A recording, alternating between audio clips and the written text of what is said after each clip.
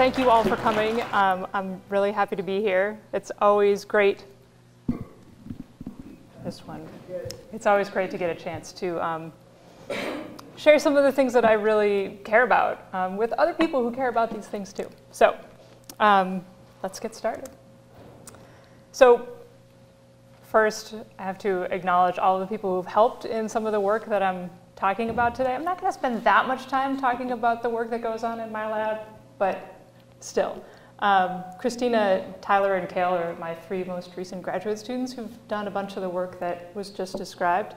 Um, some of you probably know Paul Dinnel. I know he's a, he's a big fish in uh, marine circles in Anacortes.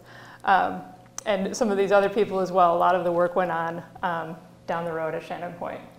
Um, but also you know, in cooperation with National Science Foundation and Western and um, Washington State DNR and a bunch of other, bunch of other people care about these things. So um, I'm going to give my little plug for Western also. So Western is a really great place. She mentioned my you know, interest in teaching, and that's one of the reasons that I'm at Western, is that people um, at Western really care about the students and really engage and get the students out in the field and really doing practical, um, you know, boots, boots in the mud type work, which I think is pretty great. We also um, are really highly ranked in terms of sending students for Fulbright scholarships and for and to the Peace Corps. Um, I'm a return Peace Corps volunteer myself, so I really, um, I really appreciate that about Western, that our students are people who want to go out there and, and do something, do something good. So. We also have a new marine science major that we're starting up at Western. Um, you may be surprised to know that we didn't have one before. We have a lot of marine scientists, um, but we did not have a major until now. So we're really excited about bringing on even more people to, and more students to study the oceans.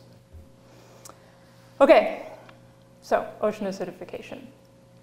So we're going to talk about, you know, what is it? Why should we care about? What can we do about it? And we're thinking about that all in the context of the Salish Sea about our local waters here. So before we get started, let me do a quick poll of you all. So if you know a lot about ocean acidification, I want your hand like up here. And if you're like, um, I don't know, I heard, heard a few things kind of here. You're like, I, I don't know anything about ocean acidification. okay, all right, we, we've got a range. Is which is typical. So we'll, we'll go over some of, the, some of the basics, but I won't dwell on it too long. All right, so 20 trillion pounds of CO2 um, are added to the ocean by fossil fuel burning every year. But I mean, that's just like, it's just like a really big number, right? I mean, it's just like a two with a bunch of zeros. Um, it's really hard to contextualize that, so here's my analogy that I use for it. That's the equivalent of one bowling ball per person per day for everyone on Earth. And I'm sure you all are really virtuous in terms of your carbon footprint, but you know, we're Americans, and so that means you're still at least two bowling balls, maybe three or four. Um, so you can imagine yourself, you know, going down to the marina in the morning with your bowling ball every day, heaving it in, right? The ocean is big, but that's, that's a lot of carbon, and it's making a difference. So um, what happens when you add CO2 to the ocean? So we're about doubling the amount of CO2 in the atmosphere, which means we're doubling the amount that's in equilibrium with it in the ocean. There's a series of equations that are all in equilibrium with each other. So the result of that is that bicarbonate, which you're familiar with as baking soda, goes up, and carbonate, um, which you may be familiar with as Alka-Seltzer, goes down. So the result of that is that things that use CO2 and bicarbonate, like plants and algae, for instance, at first blush are, are happy, right? They've got more of their raw material for doing photosynthesis and growing. Things that make shells, which is which are made out of calcium carbonate, so carbonate is the raw material for that, have problems. Because if there's less carbonate, it's harder to make a shell. So those are the kind of two ends of the seesaw of the simple way of thinking about the effects of these changes in the chemistry. But there's a whole bunch of organisms in between. I put my little herring up there that, you know, we don't know. It's, it's unclear what the effects are going to be. So we're going to talk about that in a little bit more detail as we go forward here. But let's talk about pH for a second first. So this is a graph of ocean pH units going back for the last 400,000 years. And oh, I do have a little pointer here. Oh, okay, there we go. So, right, so this is 400,000 years ago over here, and this is now over here.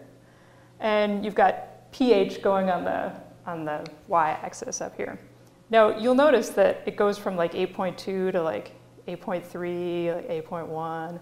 Doesn't seem like a very big difference. Um, but it is a log scale. So this change over here that goes from 8.1 to 7.8, that's actually a 30% um, increase in the acidity, which is making the pH go down. More acidic as lower pH.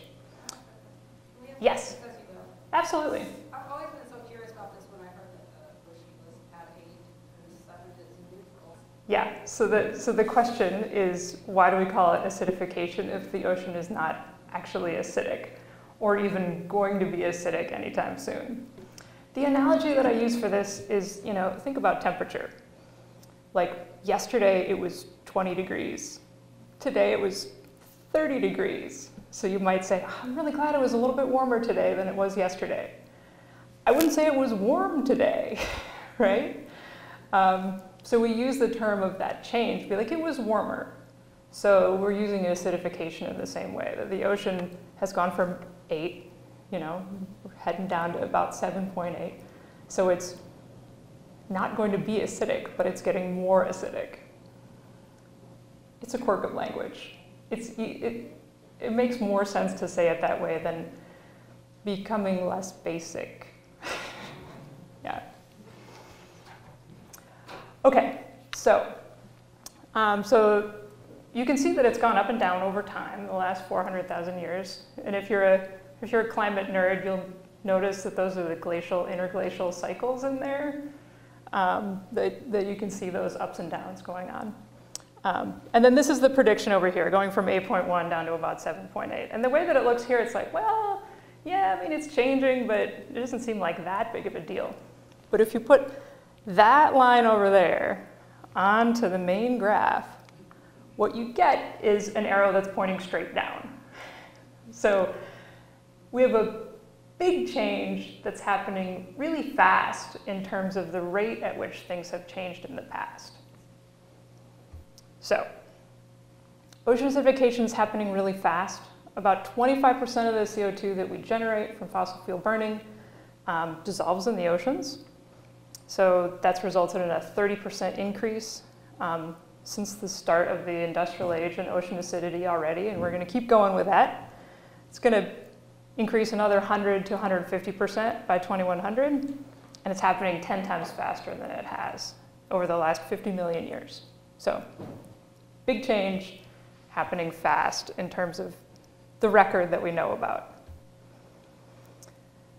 So this is the basic picture, right? We have increasing atmosphere to atmospheric CO2 causes the ocean to be more acidic, and then that can cause adverse biological impacts. We're just gonna look at that part first. There's another part coming. So adverse biological impacts.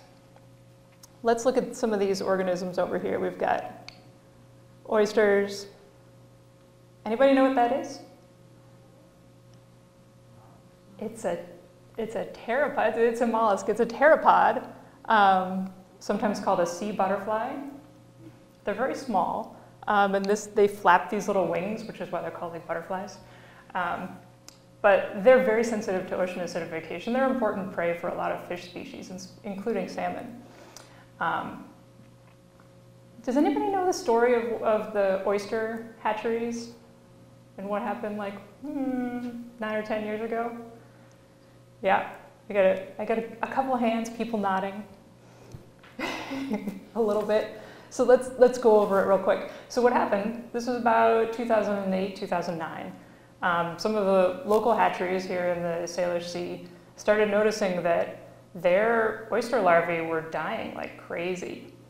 Um, you know, they were getting like 90% mortality. And they're trying to figure out what was going on. At first, they thought maybe it was a virus, um, but eventually they figured out it was the water that they were bringing in through their pumps was too acidic. And these little tiny oysters, so this is kind of the size they are when they send them out. You see somebody's fingertip there, right? They're really small. Um, so in those very early stages, they only have a certain amount of energy. And if they need to do all their growing, and if it takes more energy to build that shell because the water is acidic, then basically they run out of juice, and, and a bunch of them don't make it. So it's, it's, a, it's a simplification, that's basically the story. So that's their business is to raise and sell oyster spat, and 90% of them are dying. So that's a bad thing, right? if you're a business person. Uh, so if you were in charge of an oyster hatchery, what do you, anybody have any ideas? What would you do? Or have you heard about some of the things that they did do? Go to Hawaii. Yep.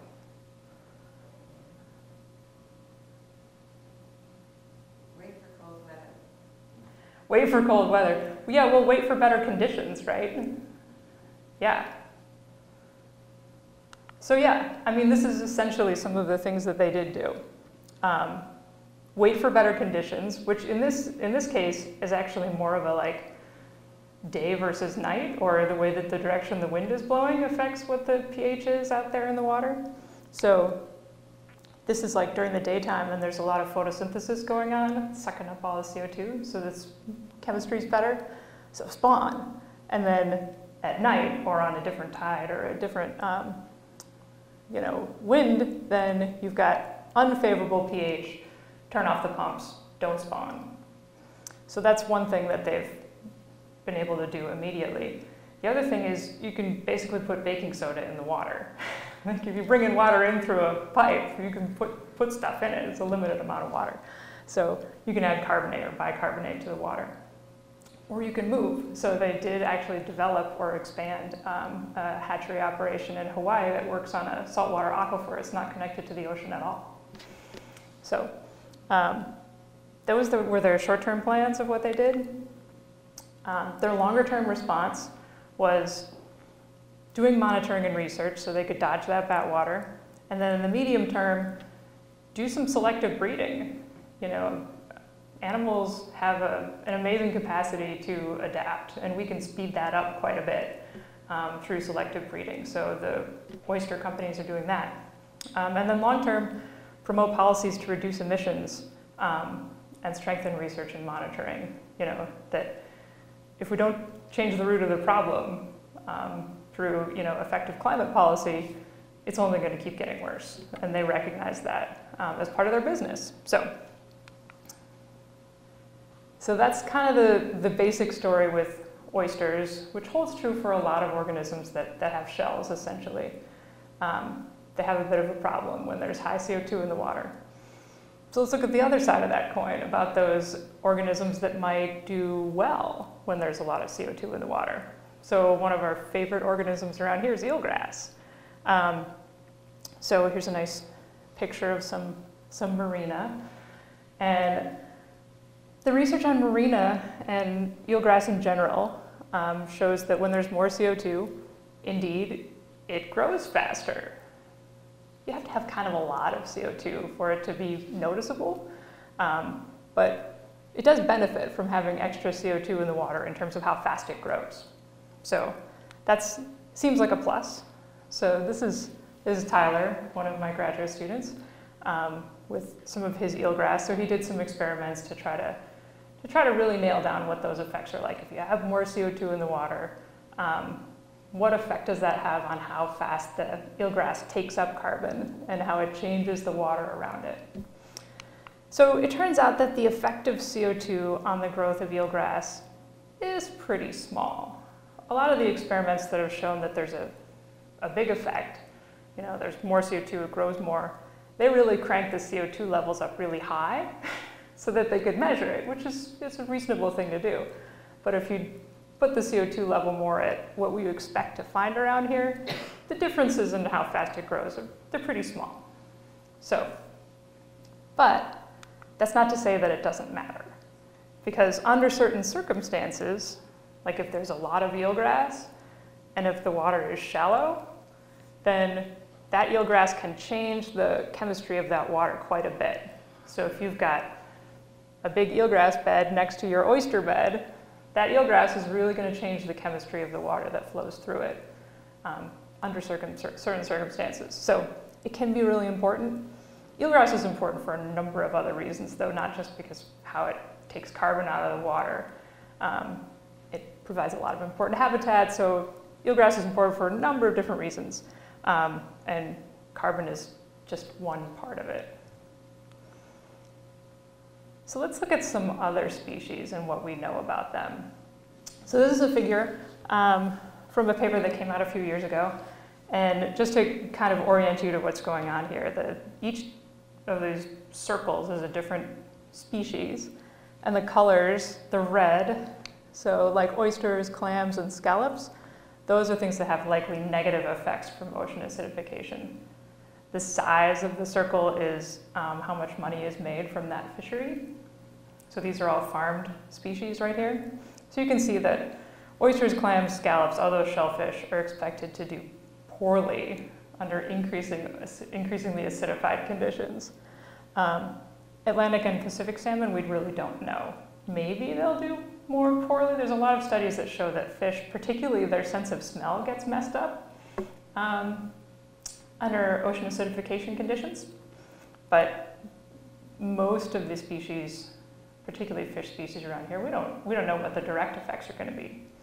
So let's look at the next um, slide here. So these are wild species, and this is North, um, Northeast Pacific, so these are, many of them are species that are around here, although not all of them. And so now we've got some different colors. We've got phytoplankton down here, which are blue. They're the only one that are blue, which is for likely having a positive effect.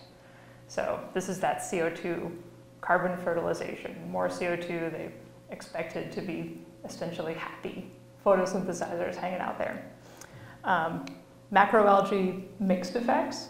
Seagrasses, neutral. There's other things that can happen with acidification, like maybe increases in how susceptible they are to disease and that sort of thing that could balance out positive effects. So then we've got all of our geoduck, clams, scallops, abalones, shelled pteropods, all these red, red ones here. Those are a lot of them things with shells um, that have a harder time when there's not as much carbonate in the water. Um, crabs are a maybe negative. But you'll notice there's just a lot of gray up here, which means we don't know at all. We don't even really have a guess. So there's a lot of things farther up in the food web in particular where we don't, we don't know what's going to happen. So let's think about a few in particular. Phytoplankton, we already mentioned. We have that positive effect from carbon fertilization. Seagrass, carbon fertilization versus some other things that might be going on, like disease resistance. And then herring are up here in the, in the we don't know category. We know a few things, though, and we'll, get to that in a minute. So, do you have a question? What were the squares for? Ah, the squares are things that are not harvested. So they don't have a size because you know, nobody's, you know, eating seals well, maybe a few people in Alaska, but they're not harvested for commercial purposes. Okay, so we've got this idea of CO2 going into the ocean causing adverse biological effects. So I'm going to add in the next complicating factor, which is in the Salish Sea. We're not in the open ocean, right? This is the environment that we live in. We've got water that's surrounded by land. These huge watersheds that are full of all kinds of, they're full of forests and farms and cities and roads. And all of this is feeding into the Salish Sea. So we've got this basic picture of CO2, and then we're going to add in nutrients. So we've got algal blooms that can be caused by nutrient inputs um, from storm water, essentially, or other types of runoff. Um, those algal blooms can then die and sink, and as they decompose, the oxygen in the bottom water gets used up, and then that's another type of adverse biological effect. That is also, in fact, as that carbon breaks down, as those algae break down, they use up the oxygen and they produce more CO2. So it's causing the bottom water to be even more acidic and also not have very much oxygen. So you can have this additive effect from this kind of global problem of atmospheric CO2 and then the local problem of runoff. And they're both combining um, to form this water that's not very hospitable to some organisms. So here's another way of, another diagram for thinking about this. So we've got river coming in with all that stuff that I was just talking about. And then even that coming in isn't, isn't all that's going on. We have exchange with the sediments. So you can have various nutrients and carbon going in and out of the sediments. Um, we've got exchange with the atmosphere, of course. So CO2 coming in from the atmosphere. And then we have upwelling. So the deep water that's out in the ocean naturally has a lot of CO2 in it. Um, and over time, that water is also getting more acidic because of ocean acidification. So the water that's coming in from the ocean into the Salish Sea, getting more acidic over time. We don't know what the future of nutrients are necessarily. There are a lot of efforts out there to curb nutrient inputs, but it remains to be seen how effective they will be. Um, and it turns out actually that local um, emissions of CO2 are also important in terms of the amount of CO2 that dissolves into the water. So we've got our future of nutrients and our local emissions both can have an impact on our local water chemistry. All right, so let's get back to our biological impacts for a minute. I put a little red box around the ones that we know are going to have problems. So the sea butterflies, oysters, things with shells in general. We've got a yellow box for the eelgrass there, some positive, some neg negative, maybe turning out neutral. And then I've got a question mark over here, so we've got some, some more kind of brackets on the food web that we're talking about so far. And I want to talk first about the phytoplankton. So you can see in this picture that, and I probably already know, that phytoplankton are really diverse. Like there are a lot of different um, types of phytoplankton out there. And it's reasonable to think that they're not all going to respond in the same way. So we, at first glance, think, put a green box around there, know, probably generally positive. They have more of their raw material. It seems reasonable as a first guess that they're going to do great. So if we think that, then we can look at a food web like this, where we've got diatoms at the bottom here. So here's our diatoms, which are pretty big juicy phytoplankton. And they're being eaten by some zooplankton. We've got a little copepod there it's eating the diatoms, which is then eaten by some small fish, could be a herring, um, which is then eaten by a big predatory fish. So if you think of this sort of rising tide idea, you might end up with a situation where if you have more phytoplankton or bigger phytoplankton that are growing faster, maybe you would have zooplankton that are growing and eating faster. And some of the research that we've done in, in my lab has, has shown that to an extent. Um, then you could have more fish and everybody would be happy, except for the oysters. Um, but there are other possibilities. So what if you end up with more of these small phytoplankton, which are over to the side here, your pico and nano-sized phytoplankton? Those tend to be more strongly connected with the microbial loop and with bacteria that are in the water, and more strongly connected with this sort of alternate food web that goes over here to different types of zooplankton, and then up to cnidarians or jellyfish. So there's a possibility that if you change the conditions, the types of phytoplankton that are growing will be different, and then the communities that they support will be different. So is there evidence that something like that is happening? Well, this is um, a graph from uh, Salish Sea Marine Survival Project. This is looking at 20 years of um, zooplankton data. So this is zooplankton is that second level up. And so you can see there's larval barnacles and other mollusks um, that seem to be pretty steady over time. And then in this purple line here, you see comb jellies, um, which seem to be increasing over time. Um, at this particular location, this one is Cherry Point. There's another paper that came out not too long ago that seemed to indicate that also in the South Sound, they were seeing increases in um, gelatinous zooplankton over time as well. So this is not to, I'm not, not saying jellyfish are taking over the world.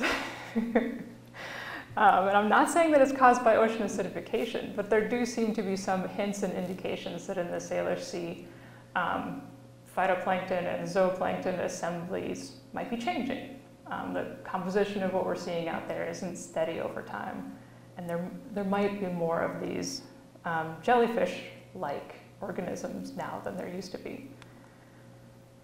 If that were the case, then you would be shifting away from this food web that's supporting these large fish and more towards a food web that's um, a little different from that.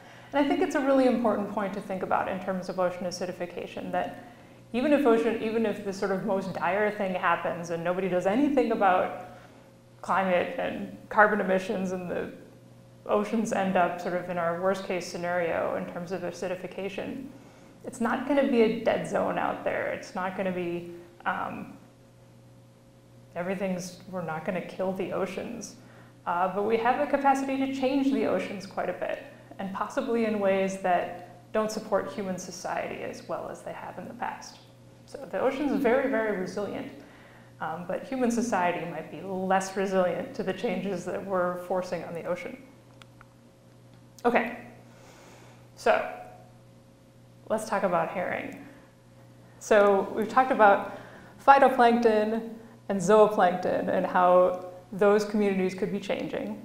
Um, and then we've got forage fish in the middle here, of which herring is, of course, a very important example. And I had to, I had to add an orca off to the side here because there wasn't one on this figure, but it's our, our favorite link in the food web having to do with herring.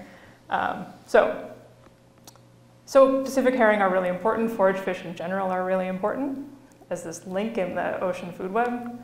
So around here in the Salish Sea, there are 18 known Pacific herring stocks. And my student Christina did a study on the Cherry Point population, which is in red at the top there. And one of my caveats here is that several of these populations are genetically distinct from each other, and they might not all respond in the same way. So we looked at Cherry Point, um, which is the one that's been declining the most over time. So one thing that's important about herring and when we think about their effect or how they might be affected by these changes, um, they spawn in near shore coastal waters um, and they generally spawn on vegetation. So they like to spawn on eelgrass and other algae um, that could be in the, in the near shore environment. So what do we know about how they're affected so far? It seems from other experiments that people have done that changes in CO2 or pH don't probably have a really big effect on them. Most of the studies have been done on Atlantic herring, but they're very closely related to Pacific herring. Um, temperature we know is a problem for them. If it gets too warm, bad things happen, which we talk about in a minute. And we also want to know, well, what happens if you change PCO2 and temperature? Uh, because that's what's happening out there in the real world, right? So you've got temperature increasing and CO2 increasing at the same time. So we wanted to look at that. So here's Christina out um, getting her, getting some herring to, uh, to do this work. Um, so she looked at fertilization success, so how, how many of the eggs end up being fertilized, and then how many of them uh, stay alive. This is, a, this is what a live embryo looks like, and this is a dead one. She took videos and looked at the heart rate um, of these, these developing embryos, and then how big they were and how long they were when they hatched, And these ones are deformed. This sort of curl that they have means they won't be able to swim. So that's a non successful hatching there. So hatching success. So she looked at all those things and found that, in general, warm temperature was the primary stressor um, affecting these Pacific herring. So when you go um, from 50 to 60 degrees or Fahrenheit, 10 to 16 degrees Celsius, the embryo heart rates go up um, and their mortality goes up and hatching success goes down and larval lengths go down. So a lot of this is probably related to that as temperature goes up, basically their energy demand goes up. So little hearts are pumping and um, they're not able to grow as well because they're using all this energy for sort of respiration. So um, temperature, increased temperature is not good for um, larval herring. And so this is where we combine CO2 and temperature. So over here is the mortality, so how many of them died. And then we've got four different conditions. So this one, first one is um, current CO2 um, and sort of current temperature, 50 degrees Fahrenheit, 10 degrees Celsius. So about 20% of them die under those conditions, their normal mortality rate. If you go to a future temperature, um, then that goes up to a 40% mortality rate.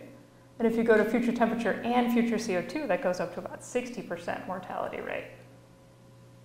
So, you know, so the difference between 20% and 60%, um, you know, that could be very, it's a lot, right? It's a lot. This is, this is one study, so, you know, it's, it's not certain. But um, it does suggest that the combination of temperature and CO2 could be really dangerous for, um, for herring larvae. So, you know, turn my herring larvae upside down there.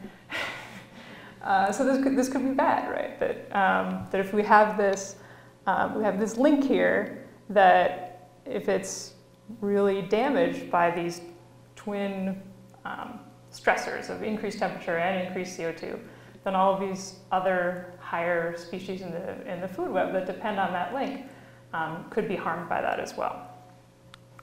Um, I have another part to the story, though it's complicated.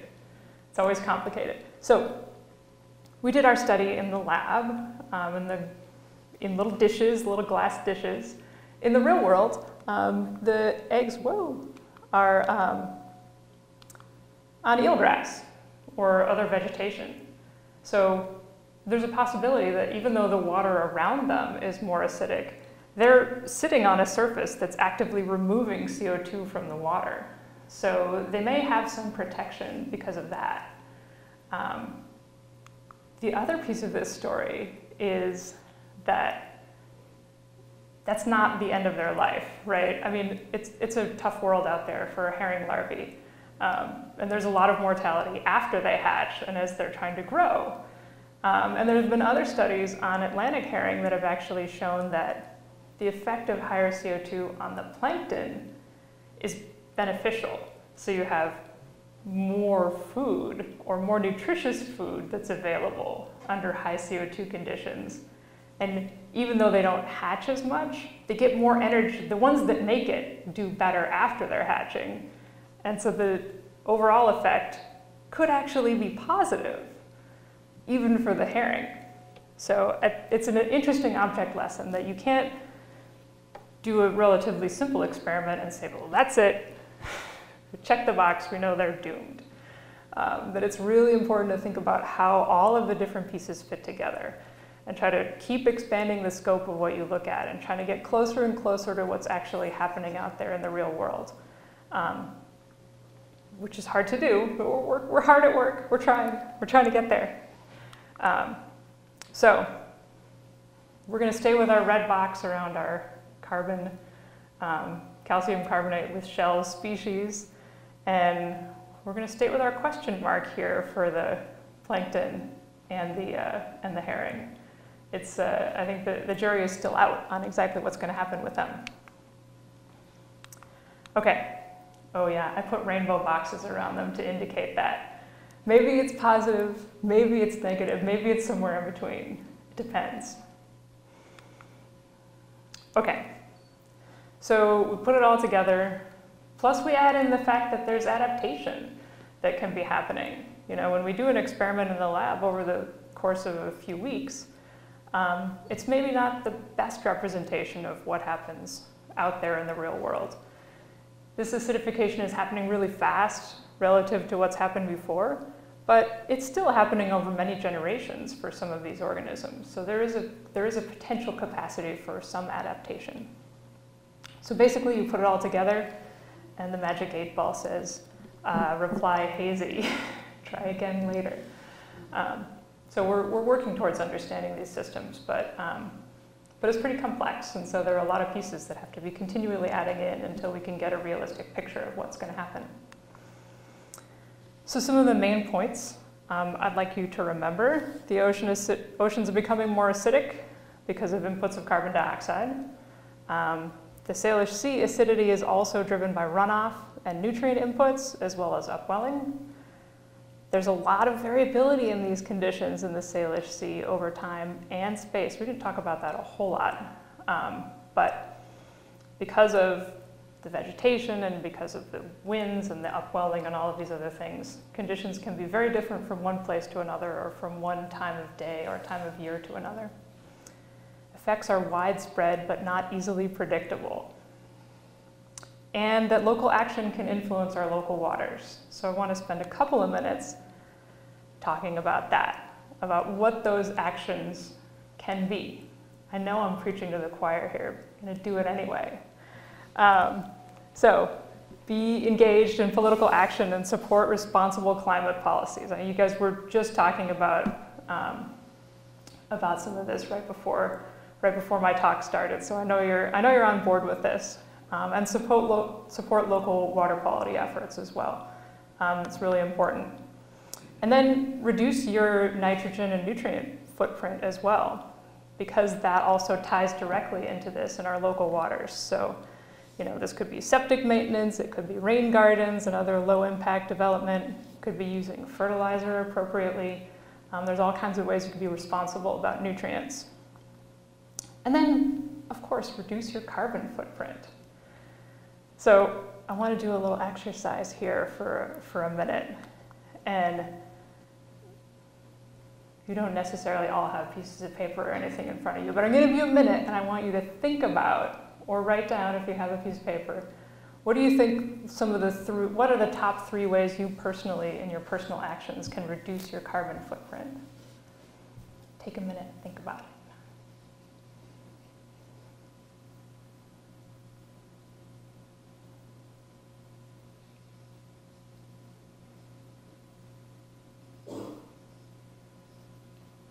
One of the rookie mistakes of unexperienced teachers is not give enough pe people enough time, be uncomfortable with silence.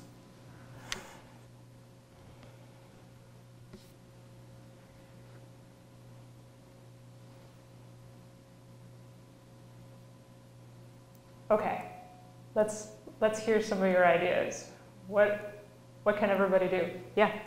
Well, in our case, uh, we have solar. Yeah. Okay. And so uh, it reduces our dependence on electricity. Absolutely. So install solar, rooftop solar on your house or your garage. Yeah. I think the number one thing is energy efficiency. Energy efficiency. Yeah. Doing a home energy audit and acting on the recommendations. Yeah, so do a home energy audit, do what you can to, you know, make sure your home is operating efficiently. Yes? Don't take airplane trips. Air travel is a big one. Yeah. Fly less or not at all. Fly less or not at all. Drive less. Drive less.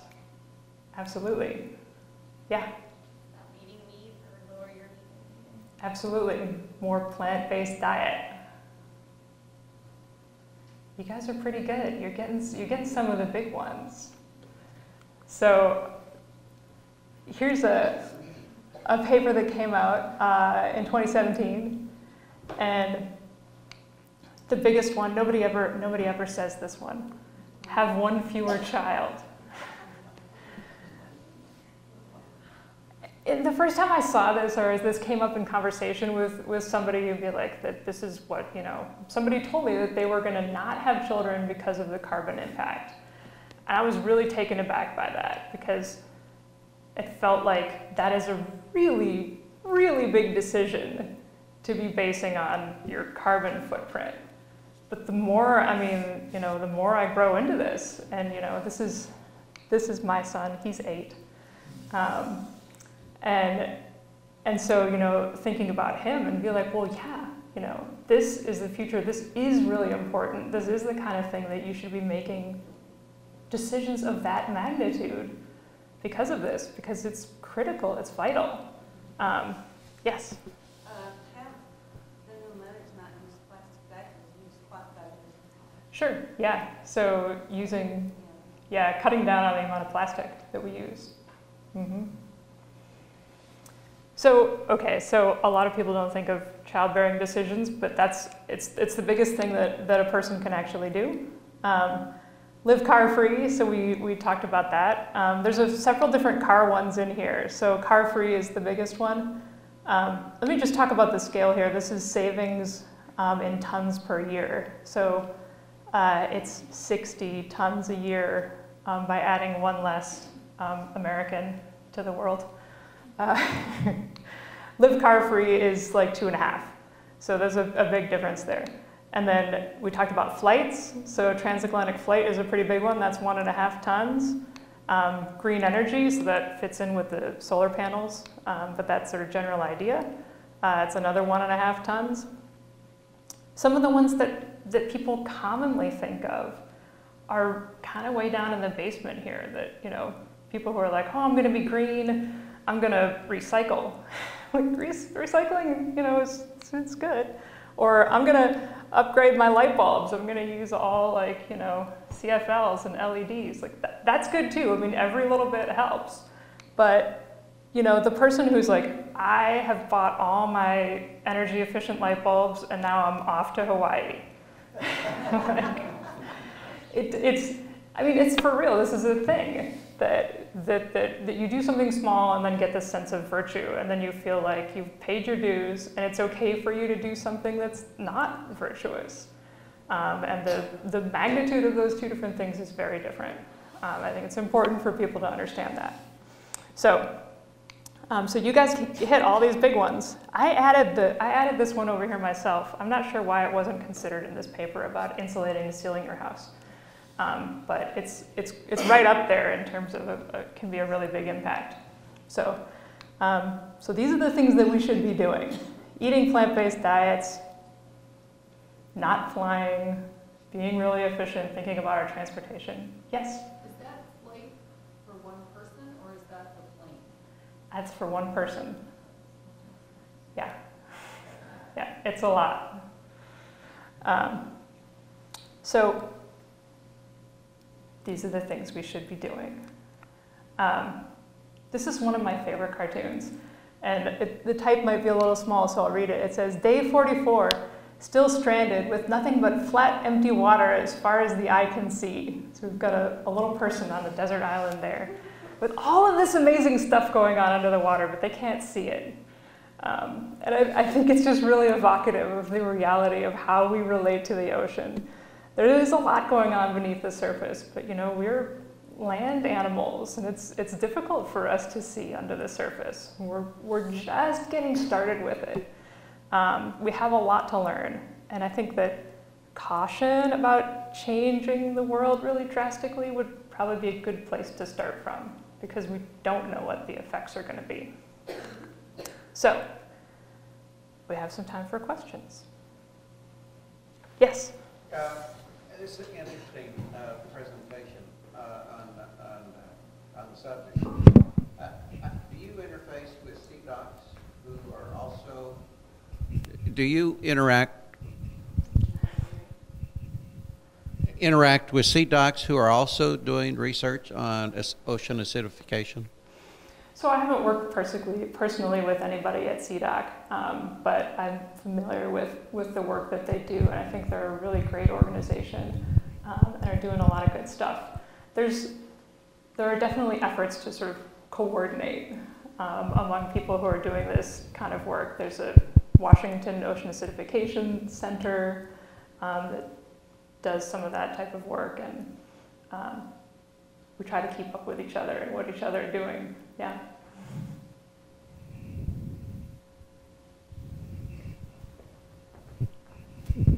I've always wondered about Shannon Point. Um, do you folks, how many folks are there working the science issues, and do you have open houses? We do have open houses at Shannon Point. So, how many people are there? Um, there are, I want to say, five or six um, kind of scientists who are, who are based there, and then there are people like me who are based on the main campus but also work at Shannon Point. Um, there are probably, I think, around 15 or 20 kind of marine science people at Western in general, um, and the, among the different areas. And yes, there are open houses at least once a year, um, but I'm not sure when the next one is. Probably in the springtime, but we haven't got a date for it yet that I know of. Yes. Uh, Another question, Uh, there was a presentation by Beach Watchers uh, a couple of weeks ago, and the presenter was talking about herring. And, uh, and herring up at uh, Cherry Point were in major decline. Mm-hmm. Uh, But they said in some places, um, other places are declining too. But overall, are herring increasing You mean like in the Salish Sea? in the Salish Sea? I don't think so. Um, I think there have been, like I said, there are 18 different stocks, um, and there are about three kind of genetically distinct um, groupings within that. And they all spawn at different times. Um, so Cherry Point is the stock that's gone down the most over time.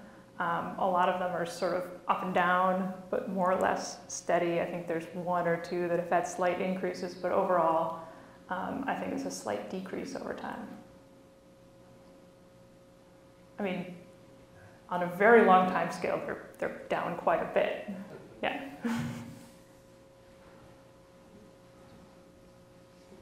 Um, I know it's not a local concern so much, the coral, but it, Could you say a few words about the, the impact on the world of that? Absolutely. So coral reefs um, are one of the habitats that are expected to be um, to have pretty pretty drastic impacts from ocean acidification. So studies in the Great Barrier Reef have shown that the rate at which it's growing is already declining. It's declined by about 25%. So they're not building as much coral as it has in the past. Um, there have been a lot of, there have been five or six times in the Earth's history when the oceans have become pretty acidic um, from natural variability. And during those times, coral reefs have pretty much been wiped out. Um, there are generally like a few different spots around the world where there's these areas of refuge and they survive, and then they kind of recolonize out from there. And this is something that happens on the scale of millions of years. So people are, are looking at this now in terms of coral reefs. And sometimes I say that if you want to if you want to see the Great, Great Barrier Reef, you better go now. But don't go. because it's a lot of carbon to get there on an airplane. um, yeah, it's looking pretty grim for the for coral reefs. Um, there are areas that they've found that have naturally high levels of CO2, and the coral that grows there seems to be resilient. Um, and so they're thinking about different things that they could do, like, well, what if we take the genes from these ones and genetically modify the coral in other places to make them resistant, which is something to make a, a green warrior kind of shudder. like, oh, save coral reefs, genetic modification, I don't know. Um, um, or selective breeding, these kinds of things. Um, but, um, but yeah, coral, coral are, um, it's not looking so good for the coral reefs. Yes. Can you say a little bit about, um, uh, say a little bit about jellyfish. Do they have any predators or can we find any good uses for them? So, question about jellyfish, if they have predators and if there are other uses for them. They do certainly have predators, and the, um, the smaller ones in particular are, are eaten by fish and other organisms. Um, and sea turtles like to eat jellyfish. Um, there's been various different ideas of what could be done with jellyfish. In some other cultures, people eat jellyfish. It might be a hard sell to get Americans to start eating them. Um, I saw one product that was actually a, a diaper that was made out of jellyfish. like, when you think about it, right? Like if you like dry that stuff out, like you'd be really super absorbent. Again, I'm not sure if parents are going to be like, really want to have jellyfish diapers. I thought it was a fun idea though. Um, so um, there, there are ideas out there about, about jellyfish. I think the other thing to keep important, that's important to keep in mind about jellyfish is that um, they're naturally very kind of boom and bust in their populations. Um, and so there's been a lot of reporting in the news about jellyfish are taking over the ocean. Um, but there's no actual firm scientific evidence for anything of this sort. Um, the, the, shifts that we're seeing here in the Salish Sea are fairly subtle. Um, and things that you see that happen in other places, there are these jellyfish blooms, and then people are like, oh God, jellyfish are taking over. Um, so I would, I would take anything that you see about, about overabundance of jellyfish with a grain of salt. yeah? I, I appreciate there must be a lot of variability in the local waters uh, on all sorts of different time scales, daily, seasonal, interannual. Is there any um, significant trend, long-term trend in the pH in the local waters? And how about offshore? So yeah, so the question is about if they're overlaid on all this variability, if we know if there's a trend in the pH in local waters and in the offshore waters.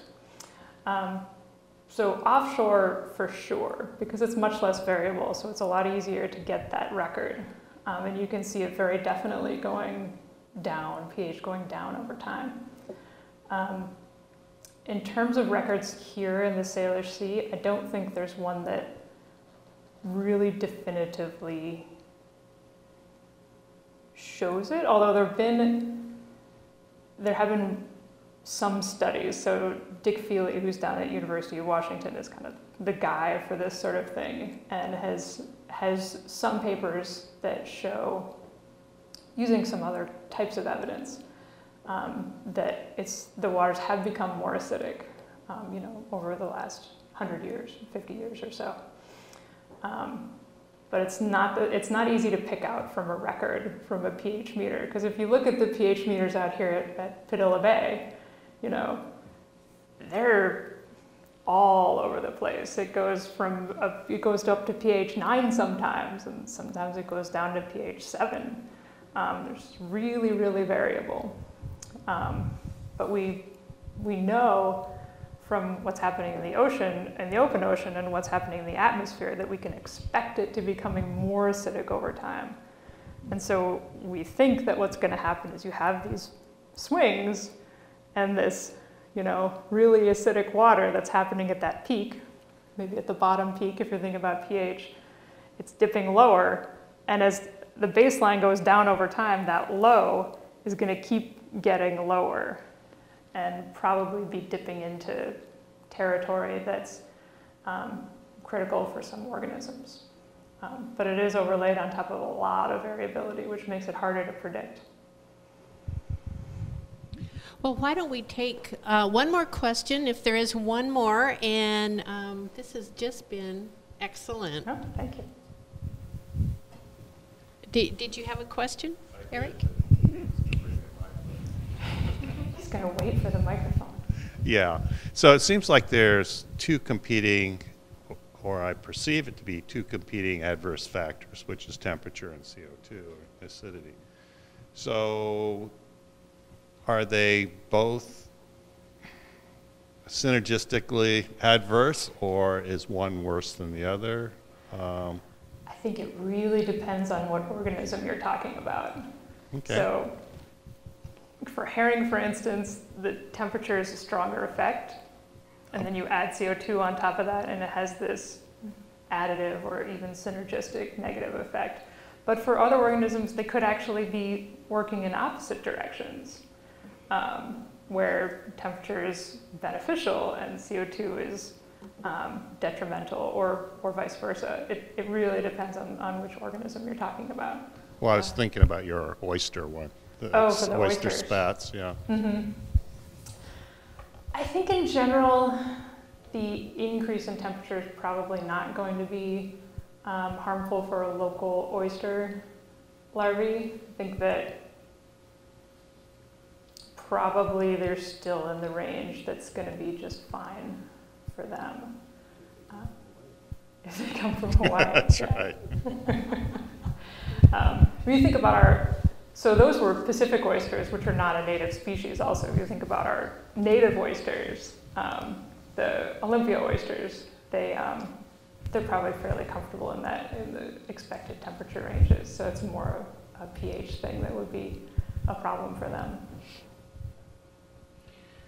Okay, well, gosh, thank you so much. This was outstanding.